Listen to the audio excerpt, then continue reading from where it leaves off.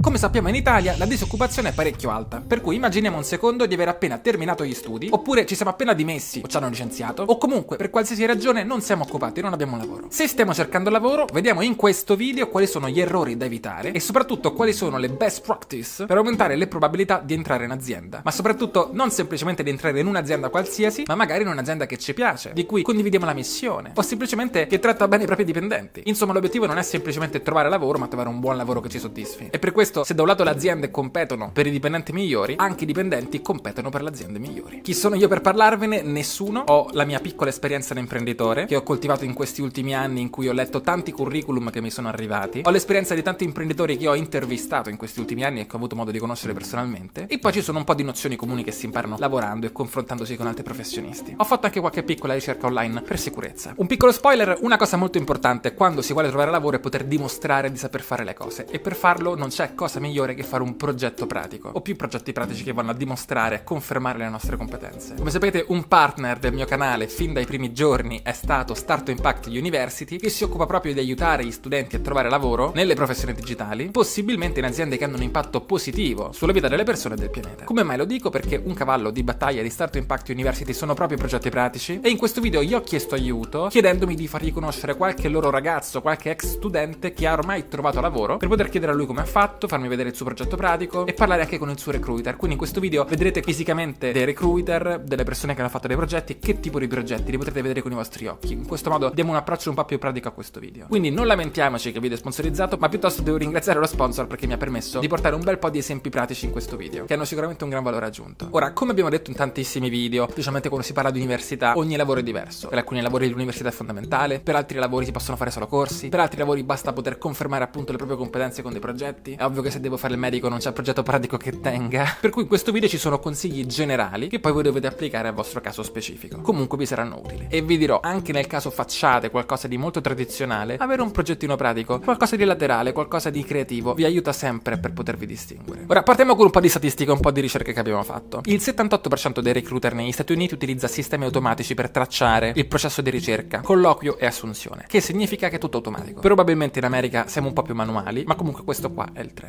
Partendo da questa informazione possiamo immaginare che se inviamo i nostri curriculum ad aziende molto grandi e loro li guardano in automatico, è importante avere delle parole chiave nella nostra mail e nella nostra presentazione nella curriculum riconducibili alla candidatura di lavoro. Questo mi sembra ovvio. Il secondo passaggio che arriva è che verremo controllati sui social. Primo tra tutti LinkedIn, poi Instagram, poi il resto. Quindi per cui non dobbiamo mentire nel nostro curriculum, perché poi veniamo sgamati sugli altri social, e non dobbiamo mentire neanche su LinkedIn, altrimenti è un problema. Importante anche non inviare un solo curriculum a tutti quanti, ma personalizzare un pochino quello che inviamo in base al tipo di lavoro per cui Yes? Well, like. Uh, Ah, yeah, I'm leaving today. ok.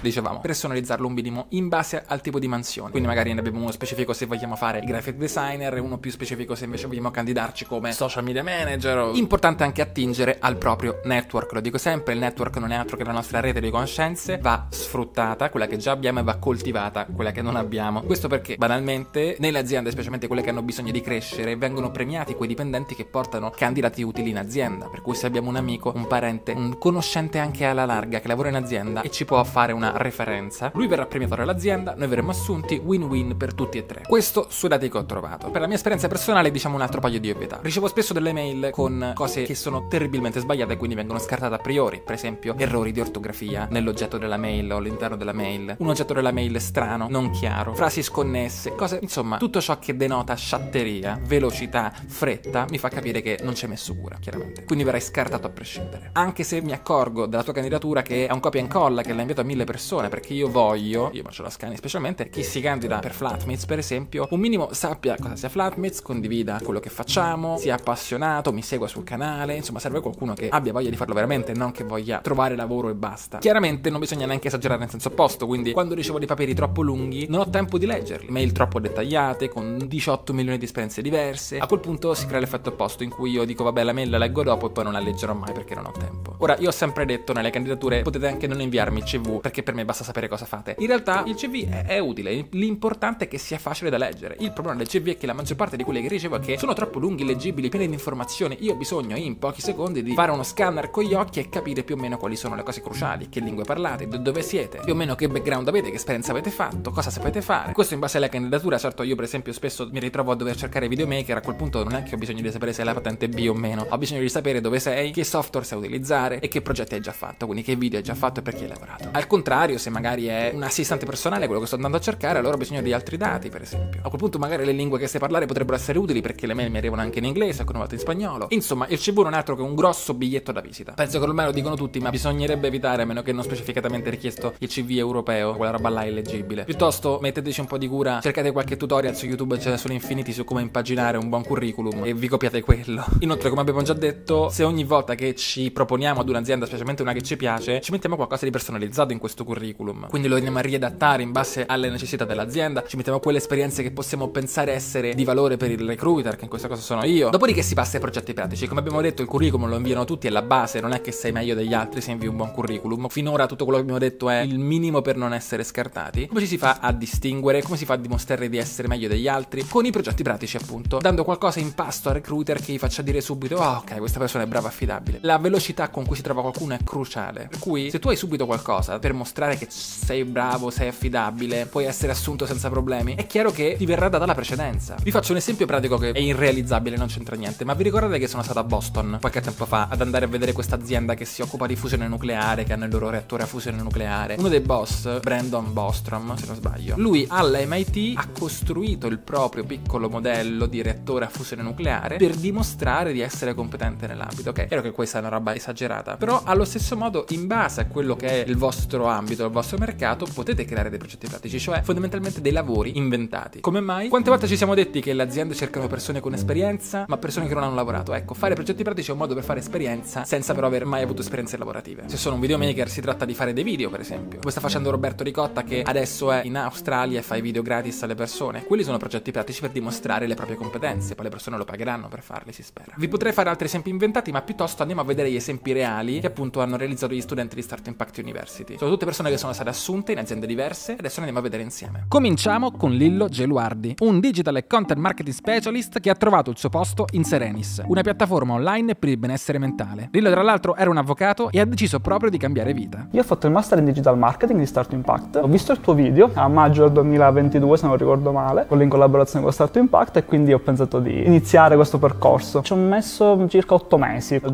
2023. Il progetto finale del master consisteva nella realizzazione di una strategia digitale completa di, di digital marketing su un'azienda a mia scelta e ho scelto un'azienda nel settore del benessere mentale. Durante mm-hmm. la creazione del progetto mm-hmm. hai affrontato le difficoltà? Come è stato doverlo fare? Ti sei interfacciato con un coach? Sì, il progetto consisteva in due parti essenzialmente. La prima parte di insight in cui ho dovuto analizzare il mercato e questa fase chiaramente è stata un po' complessa perché dovevo analizzare tutto il mercato sulla base delle informazioni che avevo a disposizione. E poi la seconda parte del progetto consisteva nella realizzazione di una strategia, quindi avere a fuoco quali erano gli obiettivi da raggiungere e sulla base di questi scegliere i canali più adeguati per realizzare la strategia e i contenuti più impattanti. Anche in questa fase eh, la coach è stata super disponibile perché non era una cosa proprio semplicissima, però ho trovato un riscontro dall'altro lato. Pensate che Lillo ha fatto il progetto finale per un'azienda competitor in realtà di Serenis, ma così approfondito sul mercato che è stato apprezzato e ha trovato lavoro nell'azienda. Un'azienda che non solo apprezza i suoi talenti, ma offre anche servizi di psicoterapia e supporto psicologico al proprio team. Insomma, in questo caso vediamo che chiaramente il progetto pratico ha fatto la differenza. Com'è andata la fase di recruiting? Ma la fase di recruiting è andata. Mi scrive uno su LinkedIn a caso, cioè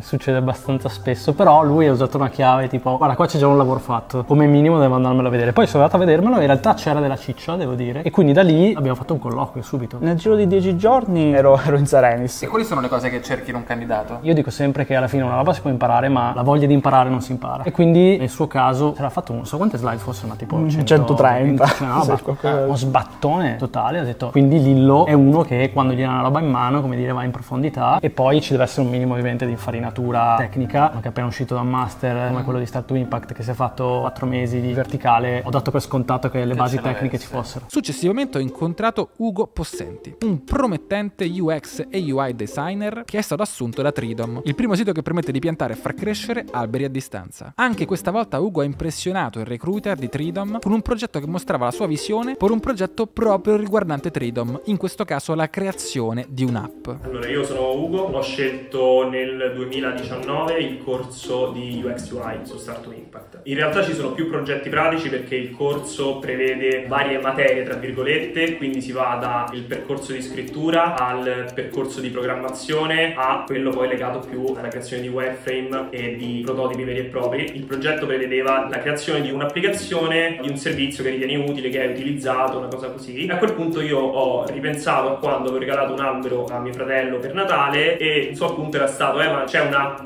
per poter accedere a quest'albero e io mi ero, mi accorto di no e ho detto vabbè a questo punto posso usare Freedom come caso studio per questo progetto, che poi è stato il progetto finale su Start to Impact. Dopo qualche mese apro LinkedIn una mattina e vedo che Freedom stava cercando una posizione come UX UI designer e quindi ho detto vabbè ho fatto 2 più 2, io il progetto l'avevo praticamente realizzato, posso candidarmi, però sì questo è stato un po' il mio approccio. Il suo approccio creativo e la capacità di mostrare come avrebbe migliorato l'esperienza dell'utente hanno permesso a Ugo di ottenere un colloquio e alla fine un'offerta di lavoro. Anche in questo caso vediamo come Ugo volesse lavorare in un settore specifico ed è riuscito a finire proprio nell'azienda che voleva. Abbiamo un team, il team di prodotto, di che cosa si occupa? Si occupa di progettare, disegnare quelle che noi chiamiamo le esperienze utenti. All'epoca eravamo solo due persone e cercavamo una, una terza persona e è diventato lui il nostro collega. Ha portato un design lineare che ci ha convinto e quindi è stata la combinazione diciamo del suo design e della sua personalità che poi alla fine ha fatto centro. È molto importante conoscere bene l'azienda, i valori dell'azienda, farsi vedere veramente committati, convinti di lavorare in quell'ambito. Poi Anthony De Medici, un web developer che ha trovato la sua strada in NTT Data, uno dei principali player a livello mondiale nell'ambito della consulenza dei servizi IT. Con un background nel mondo della musica e dello spettacolo, Anthony ha dimostrato una grande voglia di imparare e ha utilizzato i progetti sviluppati durante il suo master per impressionare NTT Data, riuscendo a ottenere un'offerta di lavoro prima ancora di terminare il corso. Ho terminato il master in front-end development. Il progetto pratico di che parlava? Si è partiti con un sito con HTML e CSS, in questo caso era un sito personale, quindi era una sorta di CV online, per poi arrivare fino al progetto finale che consisteva proprio nel realizzare un'applicazione abbastanza complessa a front-end. Avevo la traccia, ho realizzato il mio progetto, nel momento in cui mi sentivo pronto mandavo il mio progetto al coach, il quale poi entro una settimana, insomma qualche giorno, si prendeva il tempo per revisionarlo e io non l'ho passato due volte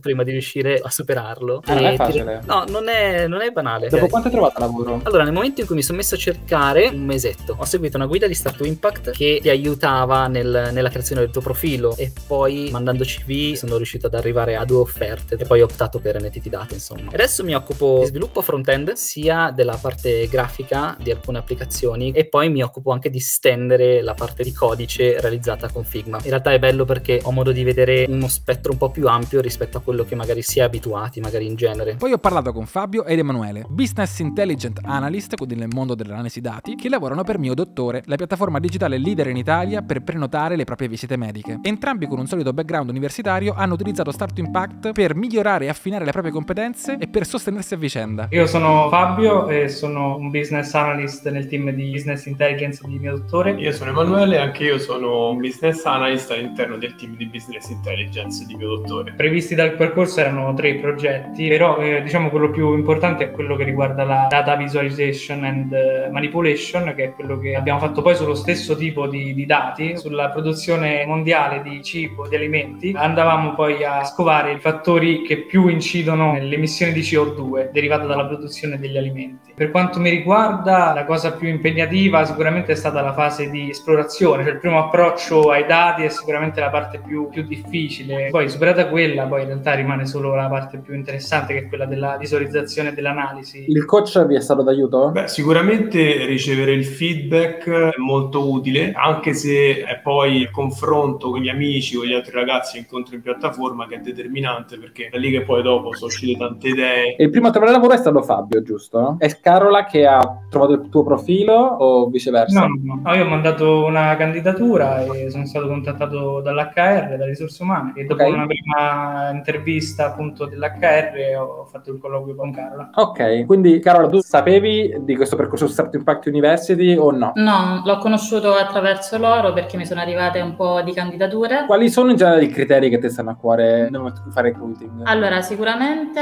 l'approccio di volersi mettere in gioco, anche il cercare su internet per capire come risolvere qualcosa di completamente sconosciuto, secondo me è uno dei fattori peculiari oggi per poter crescere, perché poi la tecnologia va avanti anche velocemente e quindi bisogna tenersi al passo con i tempi, anche il modo in cui si sono presentati al colloquio, quando è stato chiesto di presentare un progetto, la differenza tra un'intervista semplicemente parlata e un'altra molto più interattiva, proprio legata alla presentazione di questo caso che avevano risolto, credo abbia messo in luce appunto le, le qualità di entrambi. E invece invece Emanuele, anche tu come sei entrato? Sostanzialmente mi ero messo alla ricerca di altre offerte di lavoro, di altre opportunità e nel frattempo ero rimasto in contatto con Fabio, insomma, e lui mi parlava di quella che è oggi la nostra azienda e quando si era aperta la possibilità di una nuova figura entrante all'interno del team, mi ha chiesto se, se fossi interessato e quindi poi sono stato contattato. Poi abbiamo Simona Loparco, una social media e content manager che ora lavora per Marketing Espresso, un'agenzia di social media marketing con una grande presenza su Instagram. Forse li conoscete. Tra l'altro, sia lei che Anthony che Ugo non avevano la laurea, ma sono comunque riusciti a trovare lavoro grazie a progetti pratici. Un paio d'anni fa trovai un'inserzione di Start to Impact e da lì ho iniziato un master in social media marketing. Ho iniziato nel febbraio 2021 e ho finito verso luglio-agosto sempre 2021. E di cosa parla questo progetto? Parla di un brand di abbigliamento di seconda mano che si chiamava Duplo ed era appunto un brand che parla alle persone per sensibilizzare la tematica dell'abbigliamento di oggi e di tutto il fast fashion che ci può girare intorno, ecco. Nel fare il progetto hai avuto difficoltà? Si è confrontata col coach?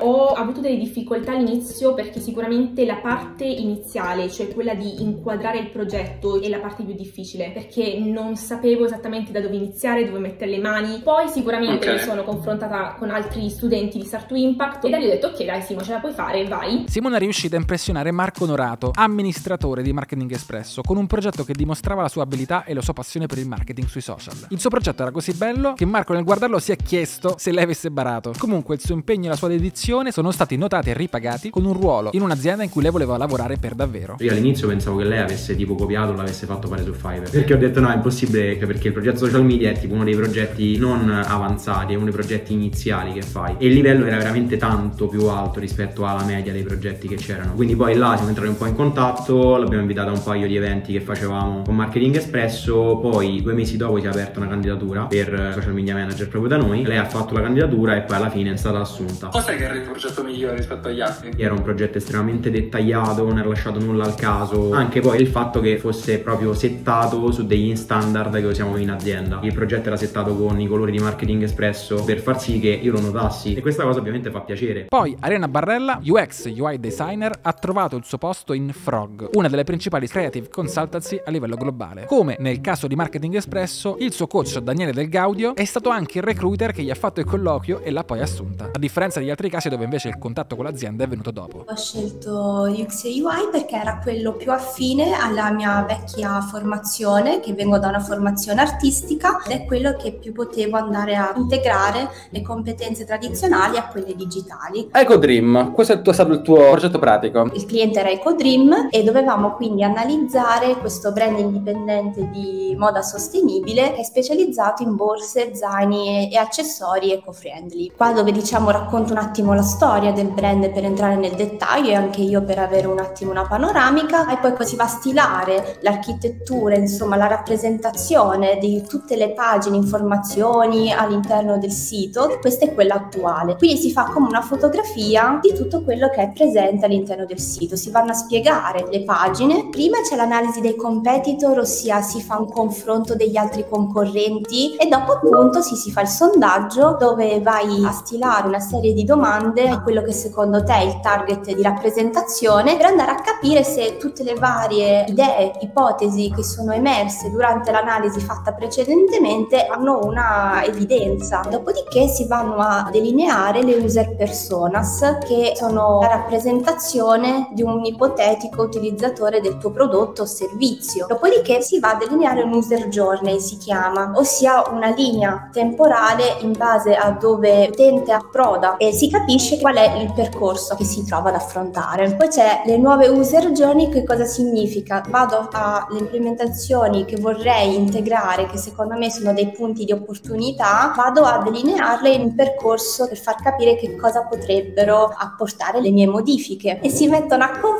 appunto i punti critici e le opportunità che potrebbero emergere. L'ultima fase, tutto quello che hai creato, lo vai a far vedere se gli- le persone che secondo te sono in target, quindi gli utenti finali, riescono a fare un'operazione che tu gli puoi comunicare. Quindi Daniele, già da coach, correggendo il progetto finale di Arianna, si è reso conto di quanto fosse talentuosa e soprattutto dell'impegno che ci ha messo. E questo l'ha portato a lavorare in Frog, che lavora per importanti brand. Com'è andata la parte finale? Cioè a un certo punto tu hai fatto un colloquio di lavoro. Io oltre a fare il coach per Start to Impact, lavoro come dipendente all'interno di un'azienda che si chiama Frog. Forte di questa attività che io faccio insieme a Startup Impact, entro in contatto con tantissimi ragazzi e mi aveva colpito Arianna per quei motivi di cui ci dicevamo prima. Il primo, una certa attenzione nel suo prodotto alle tematiche di accessibilità. E la seconda cosa, appunto, questo scambio che c'è stato virtuoso in cui mi è piaciuto particolarmente come lei ha recepito i feedback che le ho dato, non in maniera passiva ma anche proattiva, che è quello che principalmente io cerco e tanti altri cercano in figure che sono all'inizio del loro percorso da assumere. E io poi ho contattato Startup Impact, ho contattato Arianna, abbiamo fatto questo colloquio e alla fine si è attivato questo stage che si è concretizzato dopo un periodo iniziale dell'assunzione di Arianna. Perfettone. Abbiamo visto la parte dei progetti pratici, quindi c'è tutto. C'è un buon CV, una buona presentazione, abbiamo dimostrato di essere competenti, manca la ciliegina sulla torta. È la motivazione. Come ho detto prima, l'ideale sarebbe per una persona finire un'azienda che si ama e per l'azienda avere persone che condividono la missione dell'azienda. Esempio, sono stato alla Break in Italy a febbraio, vi ricordate con Alessandro Masa l'ho fatto il video. Ho parlato tanto con lui di azienda, di dipendenti perché ho parlato della sua espansione sia nel video che in privato senza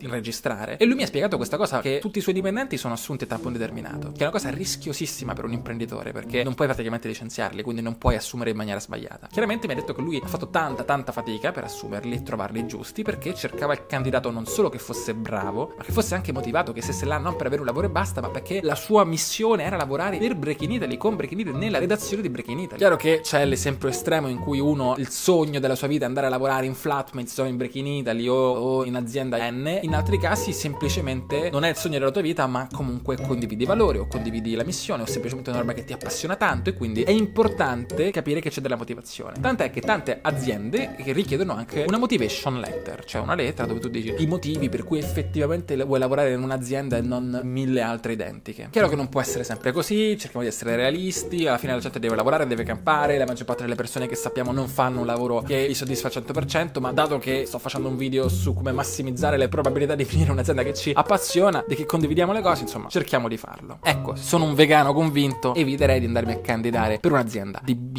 bistecche, no? Insomma, se io ho tutte queste tre cose, quindi se io ho una mail chiara e leggibile, un CV completo ma veloce da leggere, dei progetti pratici e riesco a riconoscere una certa motivazione nel candidato, ho trovato quello che è il candidato perfetto. Non solo ti assumo, ma ti tengo il più possibile, ti premio, ti incentivo, perché sono quelle le persone che danno valore all'azienda. Io parlando con tanti imprenditori, alla fine una sola cosa è emersa del fare impresa, la cosa più importante per avere un'azienda di successo sono le persone. Lo dico da imprenditore che sta scoprendo come fare l'imprenditore. Secondo me il candidato spesso si sottovaluta, anche per aziende molto grandi, la persona che cerca lavoro può essere una risorsa veramente molto importante e se dimostra di essere brava anche molto premiata, perché poi questo lo vedo in quasi tutte le aziende dove vado. Se una persona è brava viene premiata, perché è raro trovare persone brave e motivate. E con questo si conclude il mio sproloquio su come trovare lavoro, era un video che volevo fare da un sacco di tempo perché da tanto collezionavo curriculum scritti male o scritti bene, anzi io stesso vorrei dedicare molto più tempo a leggere curriculum, è tanto che non assumiamo, devo mettermici per bene, mea culpa, se mi avete scritto dei curriculum non li ho letti, è probabile che non vi abbia mai risposto, rispondo solo a quelli che sono proprio super papabili, oppure semplicemente ancora non ho letto le vostre mail, su questo dovete perdonarmi, sono una cacca, imparerò a essere migliore, migliorerò. Ringrazio Startup Impact University per avermi fornito un po' di dati in più, per avermi permesso di accedere ai propri studenti e alle aziende, insomma ai recruiter di questi ex studenti. Ringrazio anche tutti i ragazzi che si sono prestati per l'intervista scrivetemi nei commenti cosa ne pensate. Se anche voi ragazzi volete iscrivervi a Startup Impact University, andate in descrizione perché come al solito con il mio codice avete uno sconto. Inoltre, se gli iscrivete su Instagram in direct o su Facebook Orientami, ci penseranno loro a farvi fare un test di orientamento. Vuoi approfondire i master di Startup Impact University? Beh, in descrizione al video trovi il link per scaricare le loro brochure. Ci vediamo con i prossimi video. Ciao!